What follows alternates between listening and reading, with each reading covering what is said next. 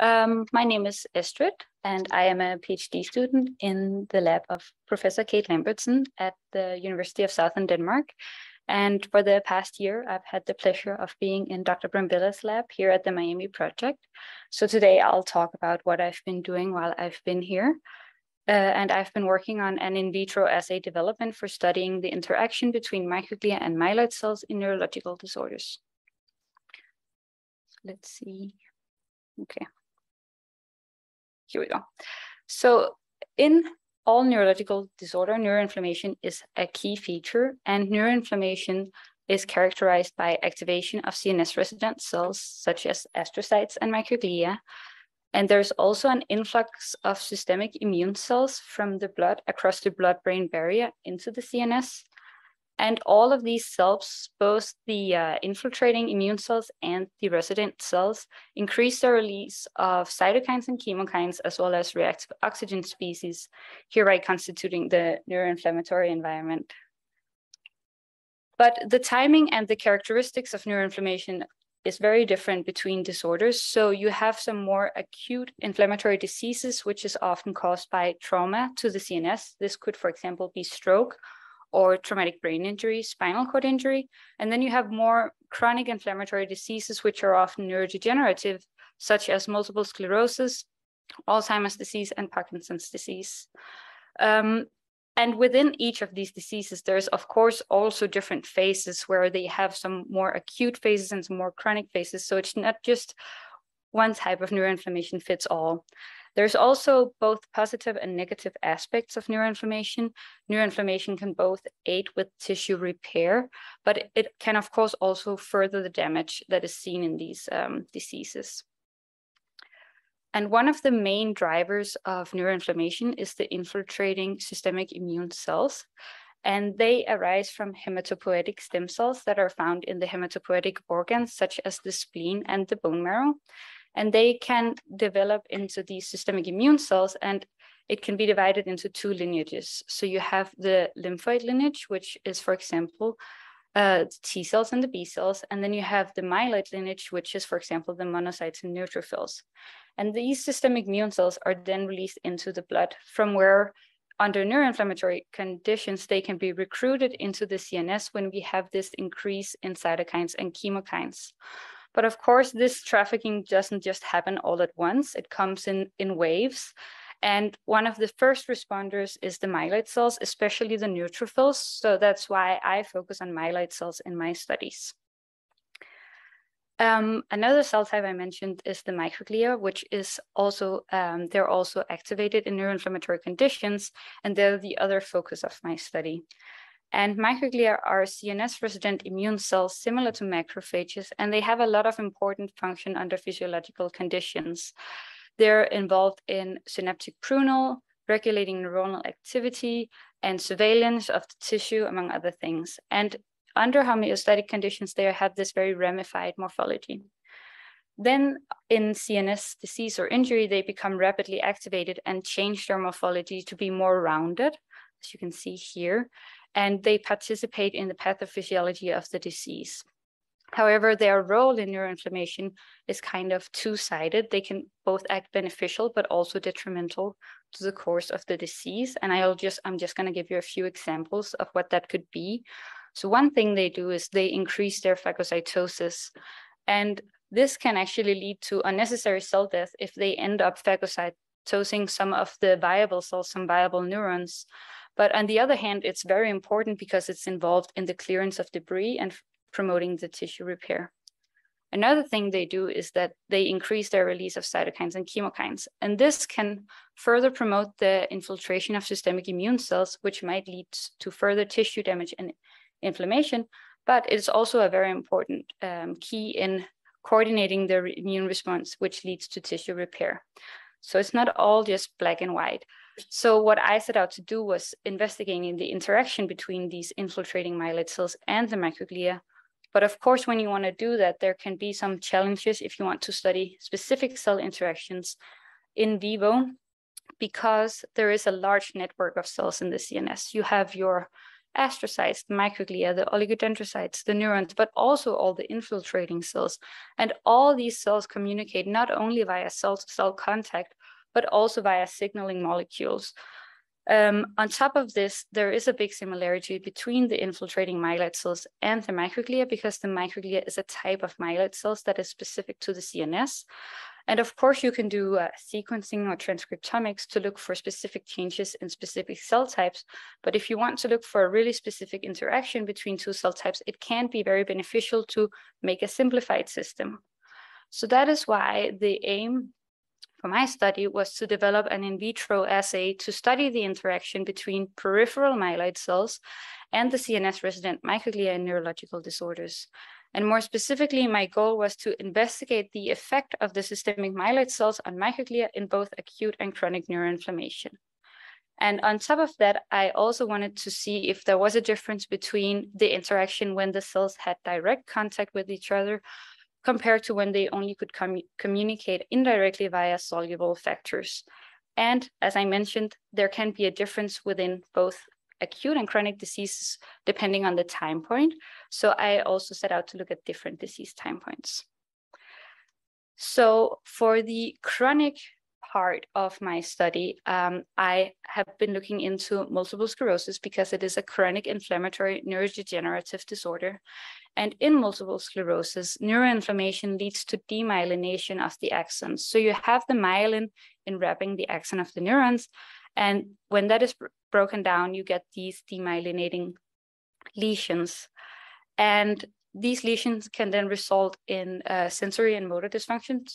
so these symptoms arise in the patients. Um, and the disease typically has its onset in early adulthood, and it can be um, divided into three main phenotypes. So there is the relapsing remitting phenotype, which constitute 85% of the cases approximately. And in this type, the patients experience um, periods of disease worsening, so a disease attacks follows by followed by periods of remission. So um, they're uh, interchangeable. And then 60% of the relapsing remitting uh, cases turn into secondary progressive, where you then have a continuous worsening of symptoms and the disease progression. The last 15% are the primary progressive, which have a disease worsening from the onset of disease, so they don't have these periods of remission. And as I mentioned, the demyelination in multiple sclerosis is caused by the neuroinflammation. So um, Multiple sclerosis is considered a T cell driven disease where the T cells bind antigen presenting cells both within the CNS and in the periphery, and they traffic to the CNS. And there's also an increased recruitment of system, other systemic immune cells and activation of the local cells, such as the microglia. And all of this leads to an inflammatory environment where uh, there uh, uh, oligodendrocyte cell death, and this will lead to demyelination of the neurons, axonal injury, and then um, neuronal loss, which causes these um, irreversible impairments to CNS functions. And the model I've been using to uh, study multiple sclerosis is the experimental autoimmune encephalomyelitis model. And in this model, we cause a uh, breakdown of the blood-brain barrier and this uh, leads to an immune response to myelin-specific antigens, followed by infiltration of peripheral immune cells into the CNS. And this will cause inflammation, demyelination, axonal loss, and gliosis, which mimics what happens in multiple sclerosis. So down here, you can see kind of a timeline of the model. So on day zero, we give the mice a PTX injection. PTX is pertussis toxin, and it causes breakdown of the blood-brain barrier. On day one, they receive an injection with MOG, um, which primes the immune cells against myelin. And then on day two, they receive a second uh, PTX injection to further the breakdown of the blood-brain barrier. So based on uh, previous cohorts in the lab, we find that our mice start developing symptoms on around day 10 to 12. So that's why we start scoring them on day eight to catch the onset of the symptoms. And then we found that we can divide them into these two phases where you have the acute phase from onset of, of symptoms until approximately day 25. And this phase is mainly due to infiltration of peripheral immune cells, and it's very T cell mediated. And then after day 25, they go into the more chronic phase, which is then, uh, yeah, as long as you keep the mice, uh, is the chronic phase. And these uh, symptoms are more due to neuronal damage and demyelination. So that leads me to the experimental design of my study. I um, isolated microglia from adult mice and um, kept them in culture for five days.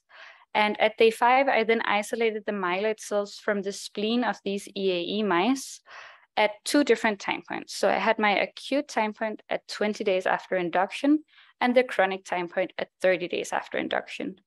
I plated these myeloid cells either directly on top of the microglia or in these cell culture inserts. And what the inserts do is that they only allow soluble factors between the two cell types because uh, the bottom of the insert is made of this porous membrane with very small pores. So the cells cannot have direct contact. They can only communicate with soluble factors.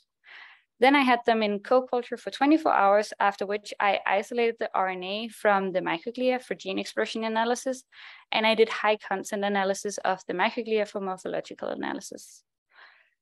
So as I mentioned, the EAE mice uh, has uh, locomotor symptoms that are scored daily. So what you can see here is a curve of the score of my mice. They're scored on a scale from zero to six, where zero is a completely healthy mouse and six is death. So a score of, for example, three would be complete hind limb paralysis. So as you can see, the mice start displaying symptoms around day 10 to 12, and then there is a worsening of symptoms until they reach this plateau. And my acute time point, as mentioned, was at 20 day, and uh, the chronic at 30 days after induction. On top of that, I also made sure that my mice in the acute group had not had symptoms for more than seven days. And I made sure that the mice in the chronic group had had symptoms for at least 17 days. So we had at least 10 days in between the, the two groups. The next thing I did was to verify my experimental setup. So I um, stained my microglia at day five of culture with IVA1. So you can see the representative images here. And then I quantified the percentage of IVA1 positive cells. And as you can see here, I had close to 100% um, IVA1 positive microglia. So I have a very clean culture, which uh, confirmed that the adult cultures are working. And then I also confirmed that I was able to isolate myeloid cells from the spleen of these EAE mice. So what you can see here is flow plots. This one is CD45 and CD11B, and this one is CD11B and F480. So you can see that all of the cells are in the uppermost quadrant here, and they group into different populations. So this told me that I was able to isolate these peripheral myeloid cells and that there were different populations within these. And then I established a method to distinguish between my two cell types because when I plate the myeloid cells directly on top of the microglia, I want to be able to separate them again so I can look specifically at one or the other. And I found that I could use this CFSE labeling um, to load the myeloid cells because it diffuses into live cells and makes them green fluorescent. And after they had been in co-culture for 24 hours, I'm then able to sort the cells so this is what you can see here. There's a population of CFSC negative cells and a population of CFSC positive cells. So I could, for example, take the CFSC negative cells, which I then knew would be my microglia, and then I could analyze them.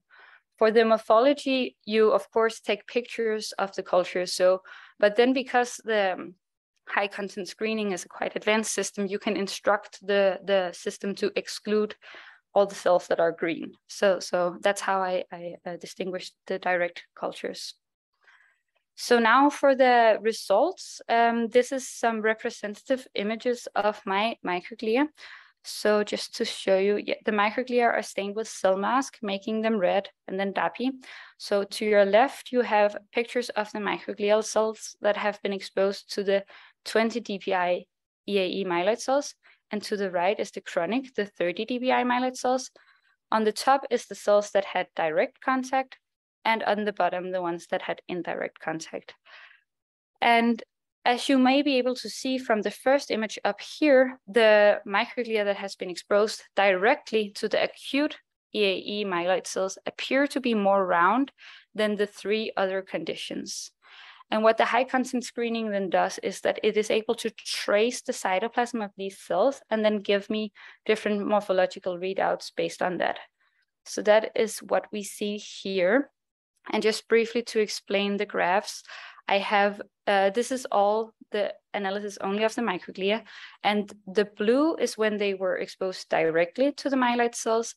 The red is when they were exposed indirectly. The darker colors is the acute time point and the lighter colors is the chronic time point. So what you can see here is this is an, a measurement of the roundness of the cells. And you can see that the microglia exposed directly to the acute time point is more round than the chronic time point. This is also reflected when you look at the length to width ratio of these cells and the percentage of elongated cells where they have a lower value in both. So this confirms what we saw in the pictures just before that microglia with direct contact from the acute 20 dpi EAE myeloid cells are more round and less elongated. I then did qPCR to look for gene expression changes um, to further investigate what's going on with these microglia. So the graphs are built in the exact same way. Uh, and I'm just going to highlight some of the things that I found. I looked at different genes. I looked at TNF genes because we know that both microglia and myeloid cells are big producers of TNF. We looked at some classic microglial genes like CXCR3 or TREM2, and um, some phagocytosis genes, LRP1 and MERTK. And what I found was that CD40 um, was higher, uh, had a higher expression in the microglia exposed directly to the 20 DPI cells compared to the chronic. And CD40 is a receptor that's very important in microglial activation during EAE disease peak. And it has been found that it's necessary for T cell expansion and continued infiltration of leukocytes. And this helps driving the disease forward. And it is known that T cells themselves, they express the ligand for this receptor. So they kind of have this positive feedback loop where they enforce their own expansion. But this indicates that the myeloid cells at this acute time point is also able to upregulate this um, receptor. So that's that's really interesting. Uh, another thing that I found was differences in the two TNF receptors. TNF signaling is very involved in neuroinflammation, and here it seems to be the opposite way around. So the microglia exposed to the chronic um, time point of the myeloid cells have a higher expression than the acute. And lastly, I just want to show you that there's also um, differential regulation in the TREM2 and MERTK, two receptors that have been shown to be involved in phagocytosis. And here we see the difference in the indirect contact. So the um, microglia exposed to myeloid cells from the chronic time point indirectly show a higher expression than the acute time point in both of them. So from this, I have some conclusions. And of course, the main one is that I can use this in vitro assay I developed to study specific cell interactions. And you can use it both to study the interaction when they have direct contact and when they have indirect contact, the two cell types. And more specifically, I found that naive microglia changed their phenotype and gene expression in response to peripheral EAE myeloid cells. And these changes depend on the phase of the disease, so whether the disease is in the acute phase or the chronic phase. And they also it also depends on whether the cells have direct contact to each other or only can communicate with soluble factors. Of course, there is um, there's many possibilities of what you can do with this assay and many more things to study. Um, of course, it would be very interesting to examine if the changes I see in gene expression is followed by changes in protein expression. It would also be really interesting to do some sort of transcriptomics or sequencing of the microglia to really look for more specific changes and what is elucidate what's going on. And of course, uh, it would also be a good idea to investigate the effect of systemic myeloid cells on activated microglia because we know that in neurological disorders, the microglia will be activated. So that is another study that would be interesting to do. But what I am going to focus on for now uh, is when I go back to Denmark, I'm going to use this assay to study the effect of peripheral myeloid cells from mice subjected to experimental stroke uh, on microglia to try to identify some similarities and differences between the effect of these peripheral myeloid cells from a more chronic disease, which is multiple sclerosis, compared to a more acute disease, which is a stroke. So just to talk a little about stroke, um, as mentioned, neuroinflammation occur acutely after ischemic stroke. And stroke is one of the most common causes of death worldwide. It leaves 80% of its survivors with permanent disabilities, and 85% of stroke cases are ischemic. An ischemic stroke is caused by an obstruction of a blood vessel, which leads to a limited supply of glucose and oxygen to the affected area, and this will lead to a neuroinflammatory response.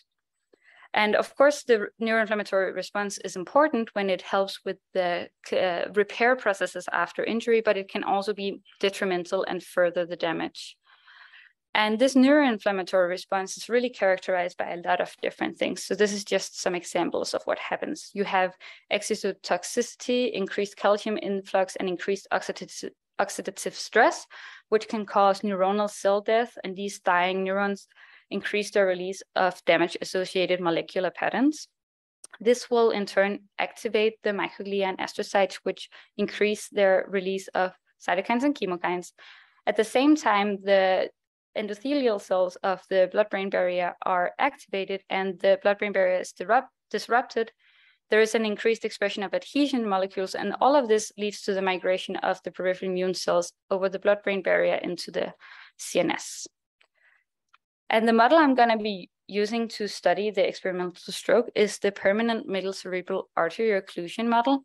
And in this model, you take um, bipolar forceps, which administer an electric current, and you coagulate the middle cerebral artery. This will lead to an infarct development and neuroinflammation in the affected area.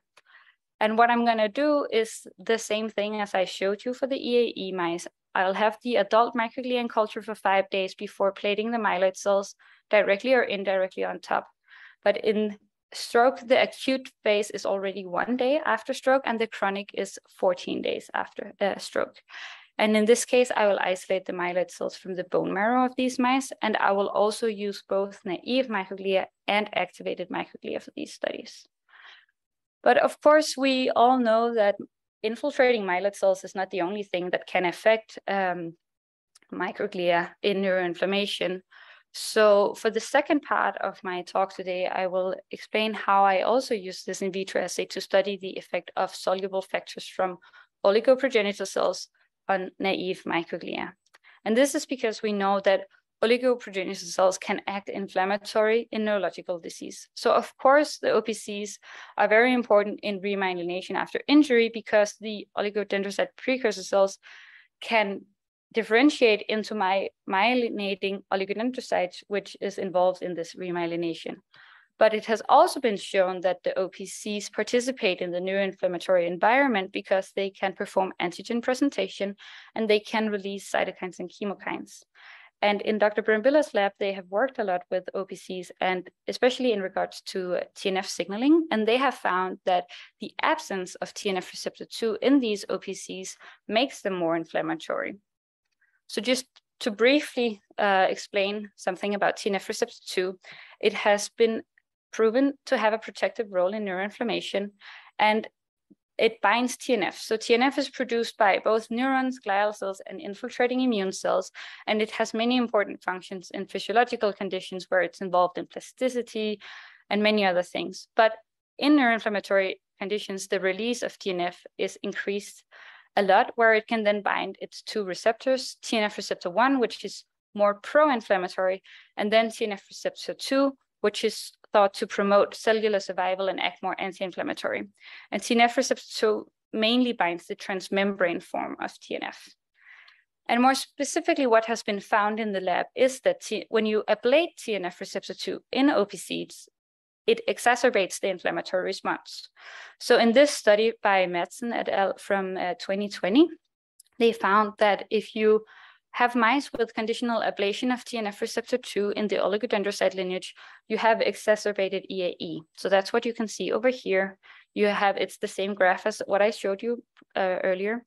You have the days post immunization down here, the scores, and then the knockout mice is in black and the littermate controls will be in white. And you can see that the black curve starts earlier and is more um, pronounced than the, um, the controls. So they have a worse disease progression. And they found that this was um, followed by an increased permeability of the blood-brain barrier, increased infiltration of systemic immune cells, and also increased activation of microglia. In another study from the lab by Disu et al., they uh, she also looked at OPCs in vitro. And she found that under inflammatory conditions, OPCs in general become more inflammatory. So they, um, at the same time, they also uh, have dysregulation in their uh, proliferation and dif uh, differentiation. So they kind of shift their phenotype to be more inflammatory instead of, of this uh, prolifer proliferatory uh, phenotype. And when she compared the um, OPCs with TNFR2 knockout to the wild type OPCs, she saw that this was exacerbated when you had knockout of TNF receptor 2. And some other data from the lab also showed that this doesn't only affect the OPCs, it can actually also affect other cell types. So knockout of TNF receptor 2 in the OPCs also leads to gene expression changes in microglia in vivo. So on these graphs, you see um, results from sorted OPCs and microglia from 12 uh, DPI EAE mice. And it's compared between the mice that had TNF receptor 2 knockout in the OPCs to the wild types. And what you can see is that there's gene expression changes in the OPCs where they have downregulation of TNF receptor 2, upregulation of TNF receptor 1 and CCL2. But when you look at the microglia, they also have changes. There is a downregulation of TREM2 and an upregulation of nitric oxide synthase. So both cell types change their gene expression, even though you only knock out TNF receptor 2 in the OPCs, and they both appear to become more inflammatory. So this tells us that if you knock out TNF receptor 2 on OPCs, it affects the behavior of other cells in vivo. And this might be due to the fact that um, OPCs release a lot of cytokines and chemokines. So here, there was a study where uh, it, where um, a previous student in the lab cultured OPCs for three days, followed by stimulation with a cytokine mix. And after the three hours with cytokines, the media was changed back to just normal OPC medium and after an overnight incubation, she collected the media and did a cytokine array to look for um, the expression of cytokines and chemokines. And as you can see, they express a lot of different uh, cytokines and chemokines. But the interesting thing is that some of them were increased more in the TNF receptor 2 knockout OPCs compared to the wild type OPCs. So that is, for example, CD40, CD160, and some of the others down here. So because of all this, I set out to investigate the effect of the soluble factors from the OPCs on naive microglia and the importance of TNF receptor 2. So for the experimental design, um, I again isolated microglia from adult mice and cultured them for five days, and then I added the OPC conditioned medium. The OPC conditioned medium was collected the same way as I just showed you with the three days plus three hour cytokine stimulation and then overnight incubation with normal media. And it was then collected. So I ended up with four groups of um, conditioned medium. So from the wild type OPC, Cs, either stimulated or non-stimulated, and from the TNFR2 knockout OPCs, either stimulated or not. I after adding the media to the microglia, I uh, let them sit for three hours before doing uh, qPCR for gene expression, and for six hours before I did high content screening for both morphology and phagocytosis. So to begin, I'll just show you uh, some representative pictures from the phagocytosis assay. Um, the, it is again pictures of microglia in red stained with cell mask and DAPI, and then in green, you have these fluorospheres that the microglia then phagocytose. And what you can see is when the naive microglia had media from the wild type stimulated OPCs, there is a lot of phagocytosis going on. But if the naive microglia was exposed to the um, media from the knockout OPCs, again stimulated, um, they appear different and have less phagocytosis. Um, so again, I analyzed these pictures with the high content screening and got the output, which shows what we saw in the picture that you can see down here, you have the four different media. So this is the microglia with the four different types of media. And when exposed to the media from the knockout OPCs that had been stimulated with cytokines, there is less phagocytosis. On top of that, the microglia from the same group also appear to be less round and more elongated. So this is the roundness. You can see that it's decreased. And this is the percentage of elongated cells, which is increased. So there is also some changes in area, perimeter, and the length to width ratio. Uh, but it really shows that, that the type of media these um, microglia is uh, exposed to have different responses. And again, I did qPCR for different genes uh, to see what's going on. And what I saw was a difference in TNF. So as you can see from this graph, when the microglia had been exposed to the media from just the plain wild type OPCs, not stimulated, they had a higher um, expression of TNF compared to when they were exposed to the media from the wild type that had been stimulated.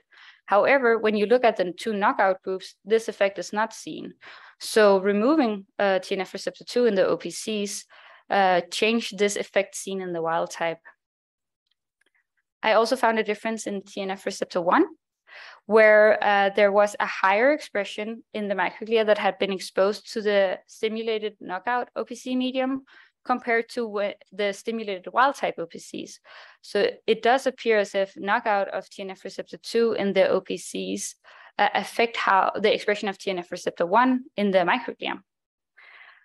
And lastly, I found a difference in CXCR3, where the wild type OPC medium from the stimulated OPCs um, induced a bigger expression of CXCR3 in the microglia compared to the non-stimulated. And again, this was not seen in the knockout OPCs. So the conclusions from this part of the study was that soluble factors released from OPCs are able to modulate the function of naive microglia and that the changes in naive microglia in response to the soluble factors from OPCs depend on the state of these OPCs. So whether or not they have TNF receptor 2, but also whether or not they're stimulated with cytokines. Of course, it would be super interesting again to do some sequencing to find more differences. Um, so that could be a part of the, the future studies.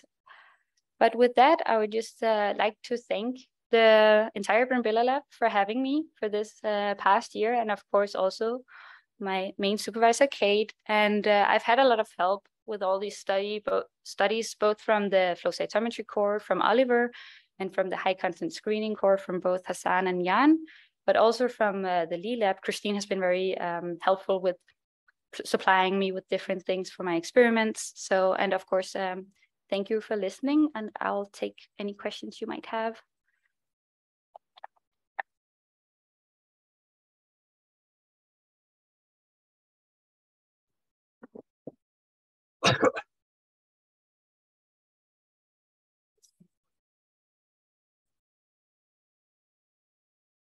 Hi, this is Vance upstairs. very nice talk, uh, very clear presentation. I'm interested in your phenotypic screening assay. And I was looking at, I think, slide 33. This one or the one with the images? Well, the, uh, the images are, uh, I, let's look at the images for a second. This one? Yeah. Yeah. So to me, it looks like there's a really dramatic difference in the number of little gold particles on the left compared to the right inside the cells. There's a couple of cells on the on the right that have lots, but it, it, it looks like a really big difference. Now, if we go to the next slide,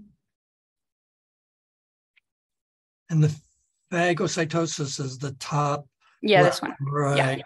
And so my first question is kind of a technical one. There's a lot of dots there, which is good, but I don't know what the dots mean. Are those independent experiments or those are different wells? What are the dots? So this is uh, different wells and it's the average of a number of beats per cell. So uh, yeah, the average of this one would be around six beats per cell. Uh, and yes, it is individual wells, but it's also um, two different individual experiments. So it's compiled from from two experiments. Yeah. Um, and yeah, I, I, I see your point that on the pictures it looks more like a a bigger difference than what is displayed here. And my explanation for that would be that that it is an average. So even though some cells do have a lot of beats, there's also some without any beats. So if you average it out, the the difference become more washed out, and and uh, that's what we see here. So have have you talked to a statistician about the way you're pooling data that way? and whether those dots represent really independent samples or not? Mm, no, I have not. And of course, there are um, different opinions because you could argue that it's more technical replicates. Um, my argument is that the microglia have been individually in their well in culture for five days before this media was added, um, and that's why I've plotted them as one data point per well. But of course, um, doing the experiment multiple times will will add power to to the findings. Yeah, I, I would encourage you to talk to Hassan about that, although he would say he's not a statistician. And if okay. you if you talk to Dr. Bixby about it, he he would say that clearly wells in one plate are not independent. Okay. Well, yeah, that is a good input, and and we should definitely discuss that more before moving forward with publishing this data. Uh, other, uh, uh I, I bet uh, it seems very cool. Thank you. Thanks. Yeah, this is Dalton, also on on uh, I'm on the second floor. Uh, great, great presentation. Thank you very much. Even that data, does that tell you that there's even in your cell culture preparations, there's heterogeneity in your um, your cell populations in terms of response to these soluble factors? Could that be something to be looked at with single cell sequencing or something of that nature? Yes, it could be interesting to look at, at how different it is between both between individual cultures and also between wells, because I do see visually big differences both between individual plates, but also just from well to well. Um, these these adult microglia do have a very um, they can act in very different ways um, which has also given some some complication with these uh, with these studies because um, you have to take that into consideration, of course. So it would be interesting to do some sequencing to see if if that's reflected in also their gene expression. That's a good point. And I, I do like the the overall hypothesis that you've got this interaction between circulating inflammatory cells and the endogenous microglia. So which which brings me to the question: Can you integrate uh, something into your experimentation in terms of what's happening at the level of the blood-brain barrier. You mentioned blood-brain barrier several times. So what's happening to the endothelial cells in terms of response to these uh, manipulations that are allowing, for example, these um, circulating cells to enter the, uh, the brain or spinal cord?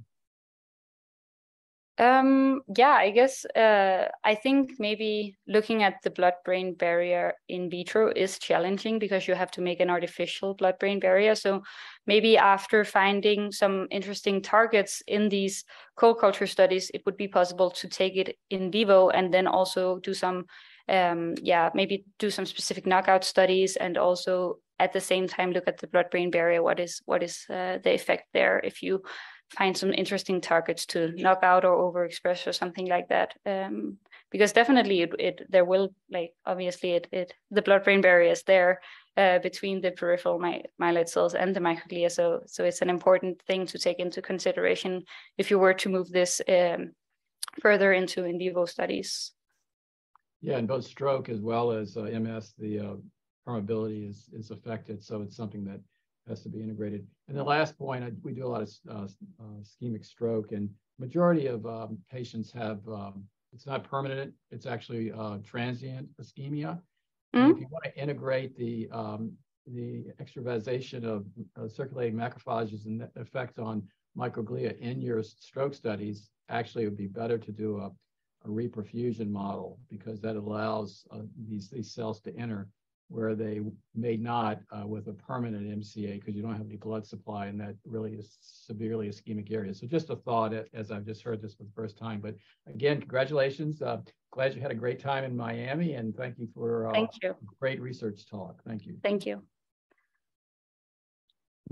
I have a question, couple questions actually. Uh, one, the first one is relating to the OPCs. So if you knock out TNFR2 in OPCs, mm-hmm. you would predict that would make it more inflammatory, right? Yeah. So if you take that media and you put it on the microglia, yes. that reduced phagocytosis and made them more ramified, right? I would suspect so, yeah. But wouldn't but doesn't that mean that it's actually less inflammatory? Because if it's more inflammatory, there should be more phagocytosis and the microglia should be more rounded, right? Yes.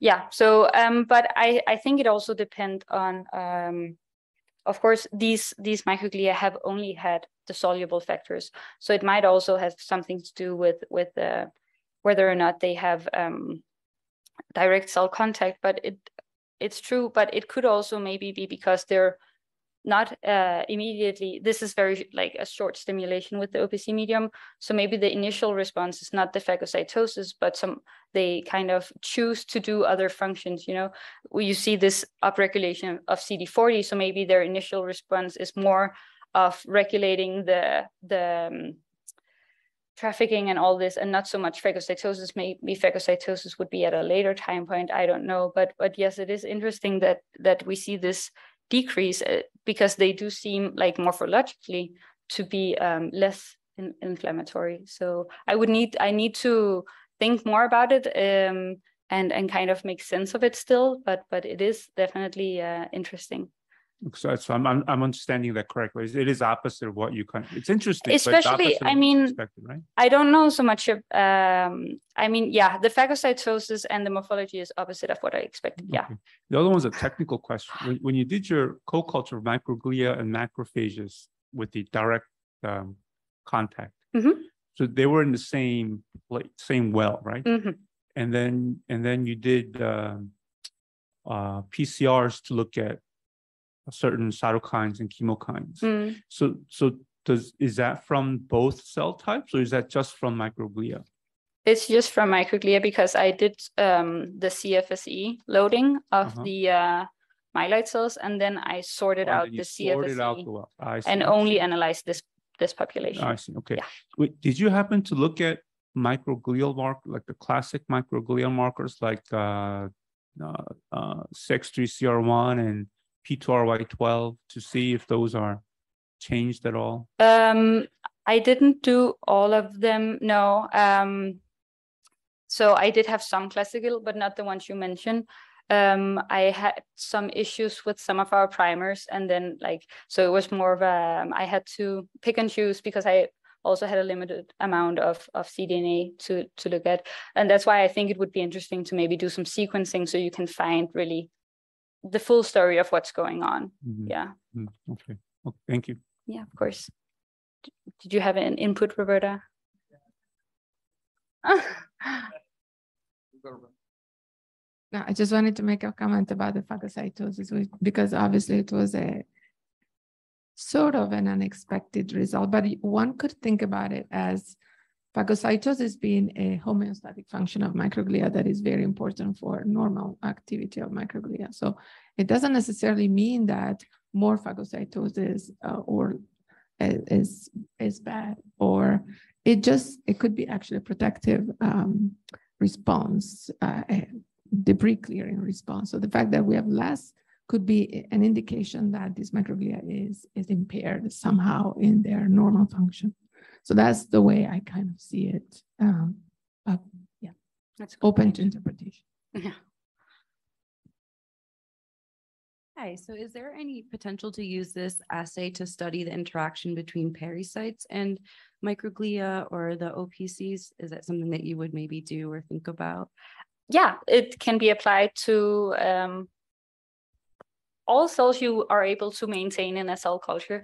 Um, so it definitely you could you could um, use other cell types and you could also flip it and have the um, myeloid cells and then exposed to the microglia and yeah so it is it is an assay that can be applied to many different studies uh, so this is just the beginning